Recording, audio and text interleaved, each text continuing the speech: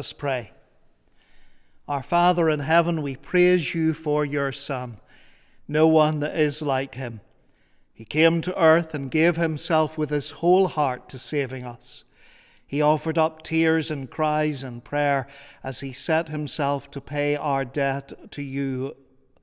Jesus, your Son, committed himself to live our human life with all its confusions and temptations and with all the consequences of sin, but never to part in heart or will or deed from you. He offered up his whole self, committed everything of mind and soul and body and life to pay in full our debt. He offered an unblemished life as substitution for our sins, and you received him and raised him that in him we might be forgiven and restored to you. Almighty God, we praise you for your Son. Amen.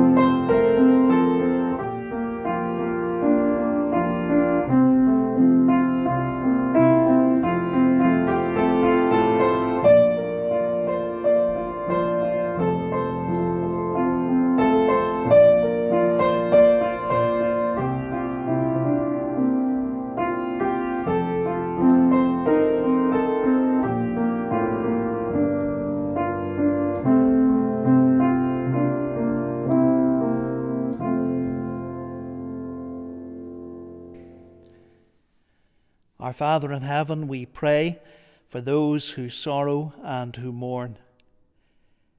Strengthen and comfort them with the knowledge of eternal life in Christ Jesus. Be near to each in grief and help them by your word and spirit. Lord, remember the bereaved and the sick and the sorrowing. Bring healing of body and mind and spirit to them according to your great mercy. We think of those we personally know and hold them and their need before you in this moment. Release them from the trouble they face and restore to them health and wholeness and peace. Lord, with so many now watching budgets closely, with some out of work and unable to find it, Lord, with feeling the difficulties of years of credit and of loans, Father, help us to hear what you say to us in our troubles. Help us to listen to the principles of your word for helping the poorest and the weakest in society, for providing a start and a beginning for everyone, for living prudently. Lord, help us hear and obey, and also change our sinful ways. Heavenly Father, whose love forgave us the first family, we pray for our families today, relationships so vital to the strength and the health of society. And we pray for those who struggle because of hurts and disappointments in relationships and in homes. Lord, be near to those who are in tears. Bring healing to them through your teaching and your spirit. And may we each become more loving and more gentle and more wise in our dealings with each other. We give you thanks for your loving mercy to us in Jesus Christ, who endured the suffering of the cross to overcome all that separates us from you and was raised up to new life.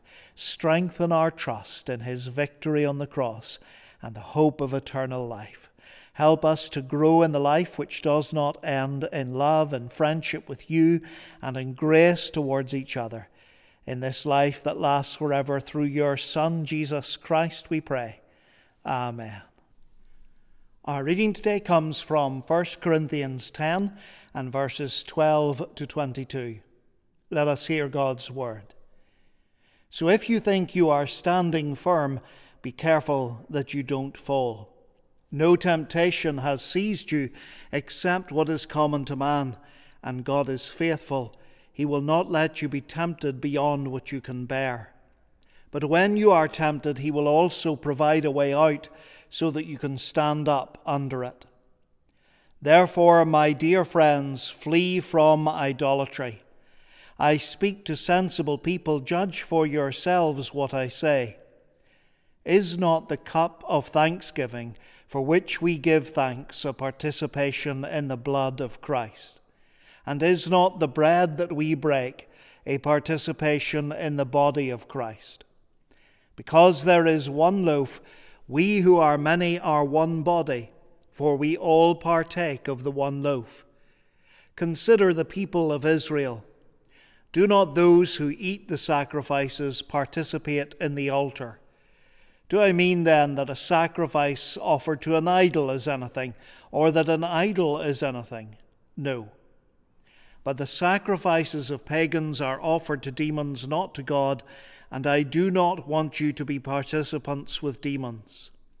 You cannot drink the cup of the Lord and the cup of demons too. You cannot have a part in both the Lord's table and the table of demons. Are we trying to arouse the Lord's jealousy? Are we stronger than He? Amen. May the Lord bless this reading of His Word. Good morning and a warm welcome to Seaview as we gather again for worship. We're continuing in 1 Corinthians. So, says Paul, if you think you are standing firm, be careful that you don't fall. No temptation has seized you except what is common to man, and God is faithful. He will not let you be tempted beyond what you can bear. But when you are tempted, He will also provide a way out so that you can stand up under it. These uh, sentences we read last time, and out of discussing the race and how to run it well, Paul bursts into, therefore, my friends, flee from idolatry. Paul has already written about idol food. In that passage, he was talking about caring for your brother who was less sure about their salvation and righteousness in Christ. And here, Paul is talking about something different. He is talking about actually worshipping idols. In the time of Paul, worship of other gods and idols was a normal part of life. Temples to various gods were built everywhere, and people would have thought little of worshipping several or all of the gods. One of the things the Romans found most difficult about the Jewish people was their absolute focus on one God and no others. The Romans understood having your own God, even preferring one over another. But the idea that your God and your God alone was the only God, that was a problem. In Corinthians, Paul is writing into a society that thinks that Roman way and to Christians who have come out of that society. So, though it might seem strange to us today, Paul has to make clear that worshipping Christ is exclusive. You can't be a Christian and a worshipper of other gods. I speak to sensible people, he says, judge for yourselves what I say. Is not the cup of thanksgiving for which we give thanks a participation in the blood of Christ? And is not the bread that we break a participation in the body of Christ? Because there is one loaf, we who are many are one body, for we all partake of the one loaf. As Paul writes of how to run the race well, and having taught that we cannot have the attitude of the Israelites who wanted back into Egypt, Paul also says, Worship Christ and worship Christ only. This is bigger than simply don't worship other gods. It is about our relationship to Christ, that we are in Christ Jesus. So understand we don't worship other idols or gods, but that is not because of anything about the other idols or gods. What idol or what is believed about them, that's irrelevant to why we don't worship them. We don't worship them because we do belong to Christ Jesus because of his work for us. And that is exclusive. Once his, all his. Once in the race, all in the race. Paul teaches this through the sacrament of the Lord's Supper, which Jesus commanded, and he says two things about it. We participate in the blood of Christ and we participate in the body of Christ. What do we share as Christians? What makes you and I both Christians? It is the fact that Christ is in you and Christ is in me. It is our relationship to Him. It is not our relationship to each other. It is, our, it is not our attending the same church. What unites us is Christ in you and Christ in me. Now, if we have been paying attention through the letter here, we ought to make sense, and this ought to all make sense to us now. Everything ought to slot into place.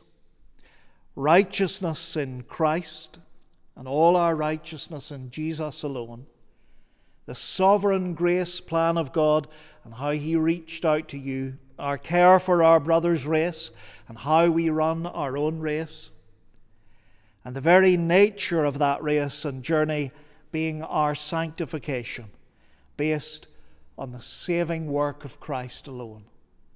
It all ought to click into place. Give it time and think about it but it should click into place. When we get together to celebrate the sacrament Jesus has commanded, we are each of us obeying his command.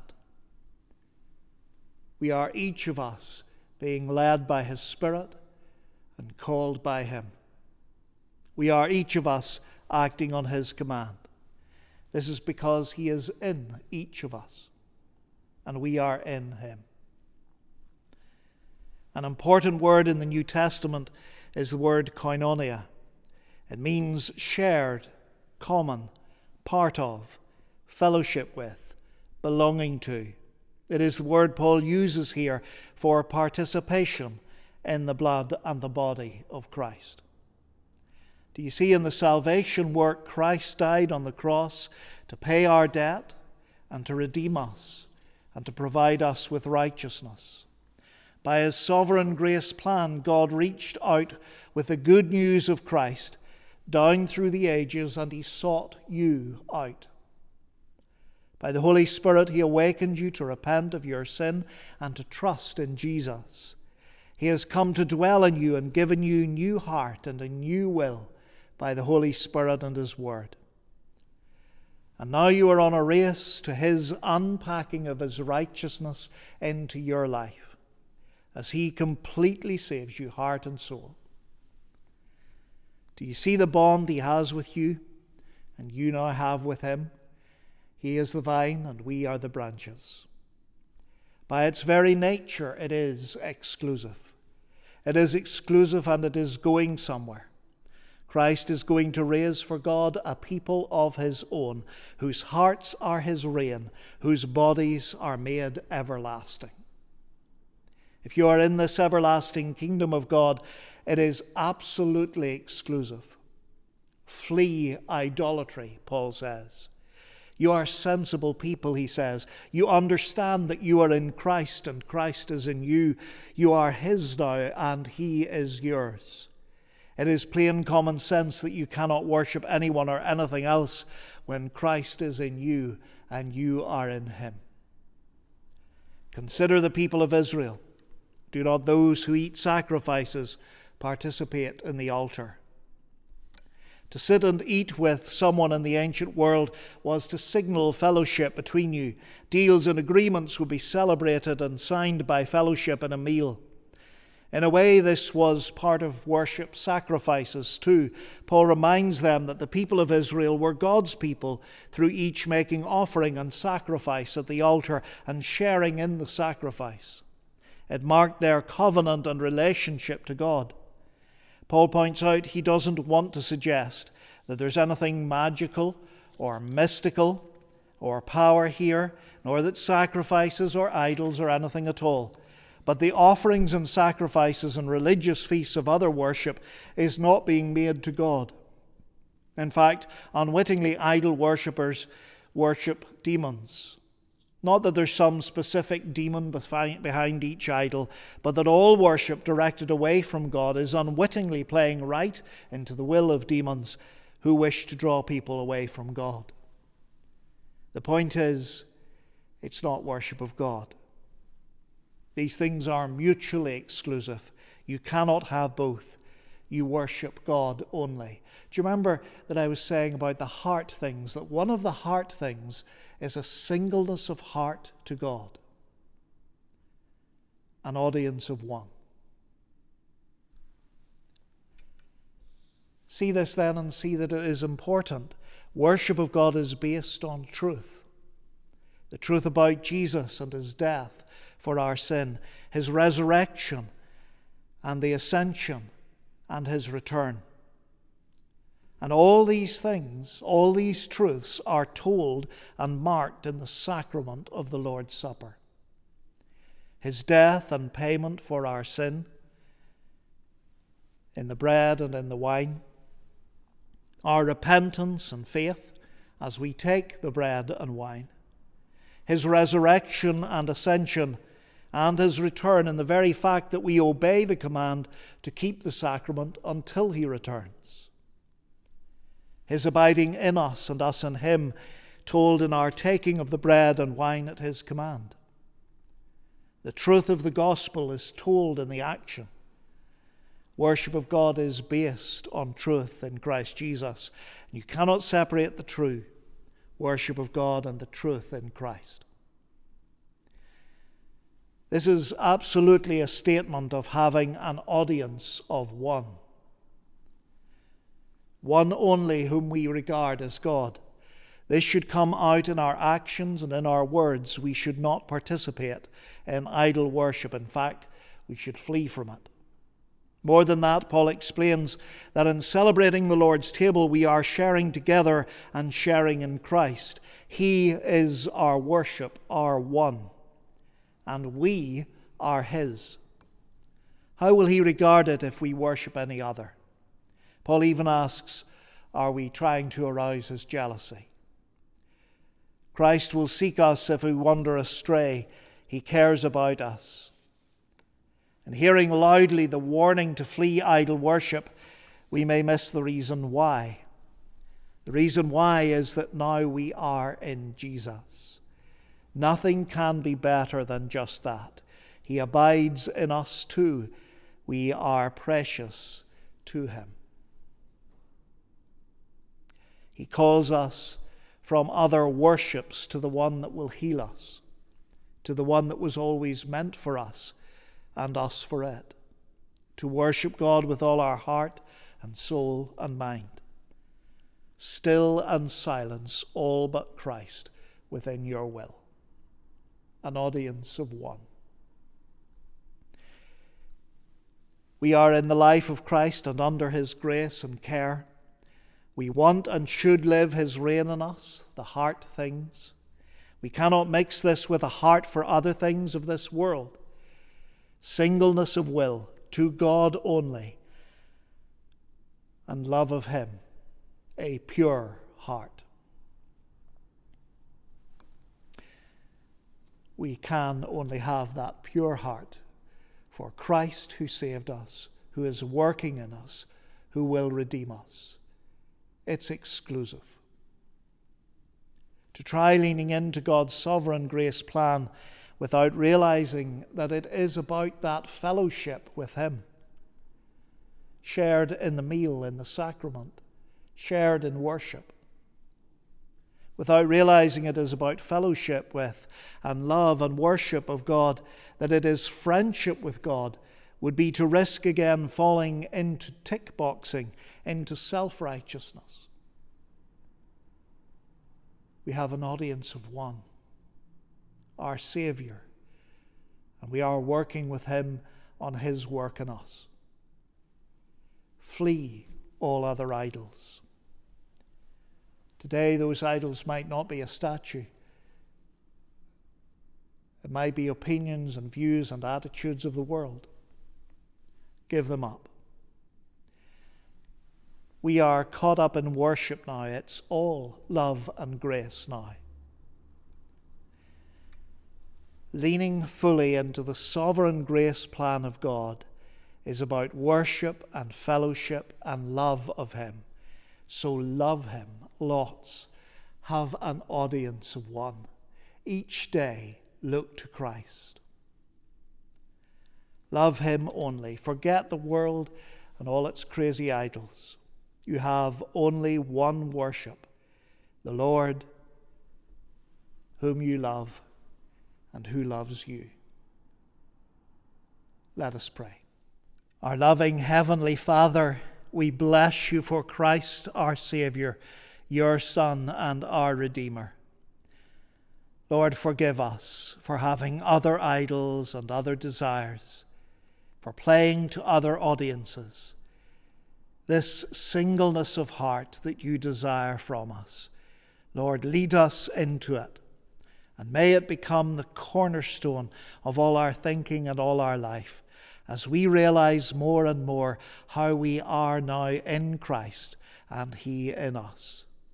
As we realize, Lord Jesus, how much we love you, how much you have loved us, and that you are all our hope for this life and the next. Lord, may all other idols disappear, and may we have a heart only for you. In Jesus' name we pray. Amen.